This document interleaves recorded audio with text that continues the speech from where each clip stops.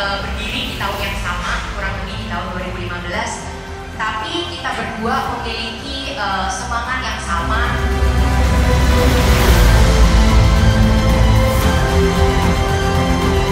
Guys, we are proud to announce Woody Motors, sponsored with Body United.